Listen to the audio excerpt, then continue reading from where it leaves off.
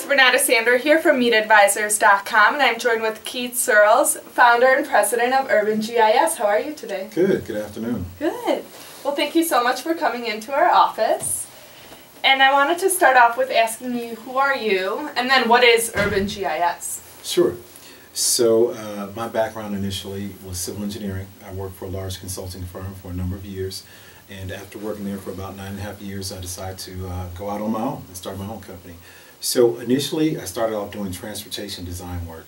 But early in my career, I got introduced to a technology called Geographic Information Systems, or GIS. Mm -hmm. At the time, I had no idea what GIS was, um, and it used to be very difficult to explain to people what it is, but now it becomes more and more easy because um, people need to know where when, they, when they're analyzing uh, their data. They need to analyze uh, things in context of space, location, mapping.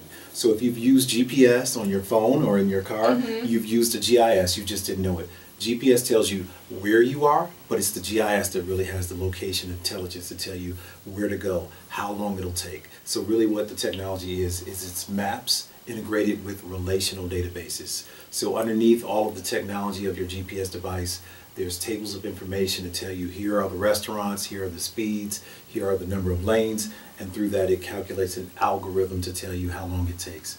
Sounds real fancy, but at the end of the day, it's just maps and databases. Right. So we use GIS to help cities and utilities primarily to manage their infrastructure mm -hmm. because it's, it's, a big part of their infrastructure is to know where it is, not to just have a database of what you have in terms of roads, um, sewers, um, maybe it's gas mains or it's traffic signals. So all those sort of things that are big data assets that's usually what we do is to help people to manage their assets with a spatial context. So are you guys the one that actually go in and, you know, let's say there's a new street light, things like that, and you actually go in manually and import it into GIS? Or, you know, how does it kind of work?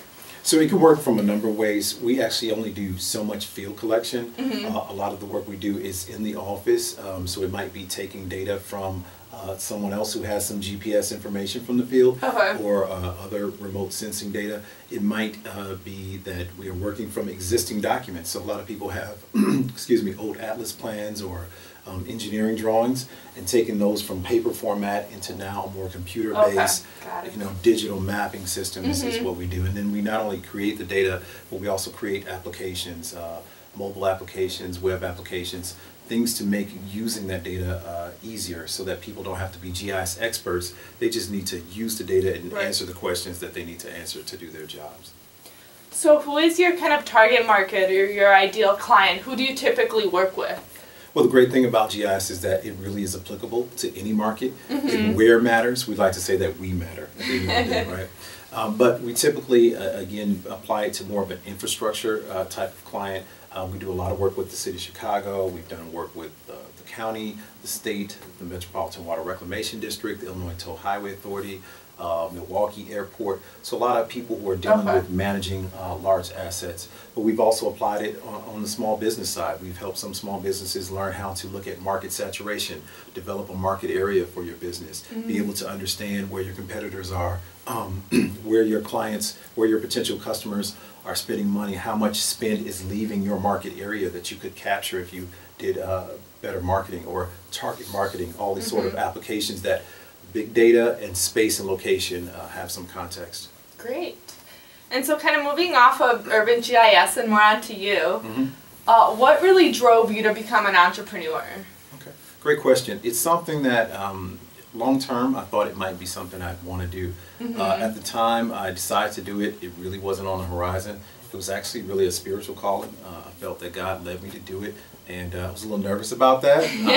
um, but uh, it's been one of the best decisions I've ever made. Never worked harder in my life, but uh, it's, it's, it's extremely rewarding, yeah. and I love it. And I, you know, they say if you love what you do, you never work a day in your life, and I, I truly feel that that's Good. the case for me. And what are some of the challenges you've seen growing your business?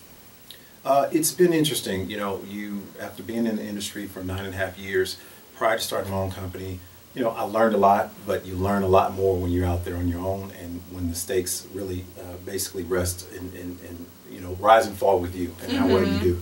do. And so, you know, uh, early on I, I spent a lot of time, you know, developing business and marketing and all those things. And then once I started getting a little success, kind of pulled off that and then learned the hard lesson of you got to always keep planting seeds. And, you Yeah. know, I started the business in 2007. So we all know what happened at the end of 2008. And so, uh, you know, kind of rode that cycle a little bit and, and realized that you always have to really uh, get as much work out ahead of you as you can and, and constantly focus on sales and marketing at all times. And how did you overcome your challenges? Or at least are overcoming your challenges? Because Mhm. as we know, starting your own business, it's not always sunshine and happiness. Right, right. It's not for the faint of heart. Definitely, um, you you have to. Uh, I don't know. You have to be wired a little bit differently. I think, um, and you have to almost revel in some of the challenges uh, because I, I basically feel like if it doesn't doesn't break me or kill me, then it, it's just gonna have to make me stronger. Yeah. Um, and then I think you have to be a person with pretty diverse talents because you're going to have to do a lot of things yourself unless you have a lot of funding up front.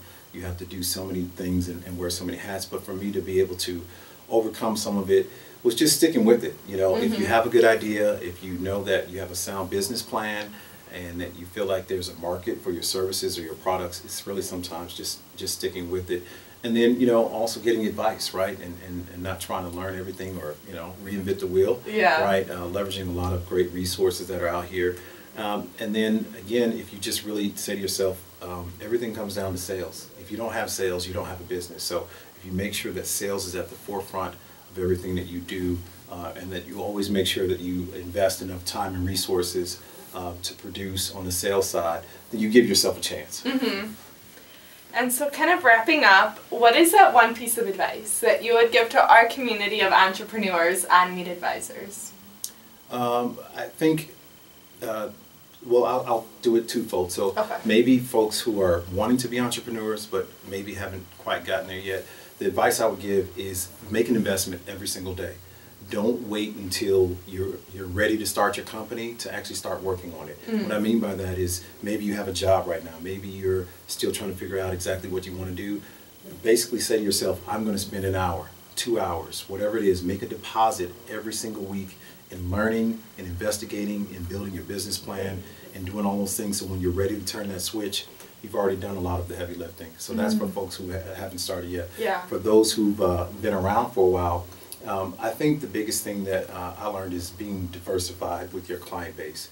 Um, when we initially had success, we had three major clients. And when the economy fell, all three of them really stopped spending. And so it was a very, very hard lesson. So I've worked hard on making sure I have a more diverse client base, even though we do a lot of public work. I've worked hard to make sure we have a stronger private client base. Yeah. You know, um, and making sure that it's not just the state and local market, that maybe it's the federal government market, uh, maybe it's other areas outside of Chicago, so that no matter what, you can kind of hedge your bets if things don't go as well as you want to want them to. And where can people find out more about you, more about Urban GIS? You can find out more about Urban GIS at www.urbangis.com. Uh, our website has a, a lot of information. We're also on LinkedIn. Feel free to connect with me, and uh, we'd love to hear from you. All right. Well, guys, check out urbangis.com and check out meetadvisors.com for more videos and blogs. Thank you. Thanks.